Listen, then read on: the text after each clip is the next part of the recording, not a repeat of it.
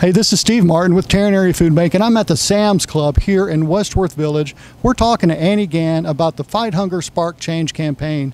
Annie, can you tell me why, from an employee's perspective, you guys are excited to be a part of this program? Because we here at Sam's Club don't want anyone to go to bed hungry.